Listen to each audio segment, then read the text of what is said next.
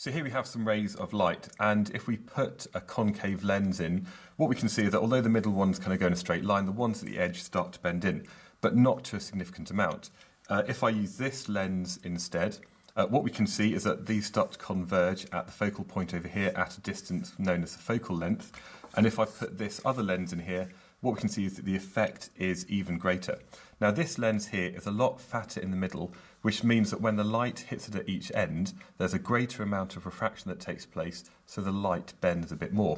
And this lens here, which has got a short focal point, is even more powerful. Now the other thing we can do uh, to make this focal point even shorter is combine the lenses together. And what you can see is as I add all of these lenses, that focal point gets shorter and shorter, and that means effectively this, the combined power of this lens gets even more powerful. Now when we use the symbol P, uh, although we're talking about power, it's not in watts. And the power of a lens is equal to 1 over the focal length. Effectively, the shorter the focal length, the more powerful the lens. Now the units for this are measured in diopters, uh, and the word, you know, opto is a bit like optician, uh, so this is the unit that we measure the power of a lens in.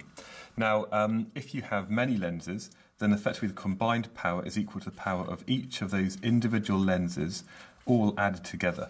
And uh, that basically gives us the total power of the lens. Shorter the focal length, more powerful. Pretty straightforward.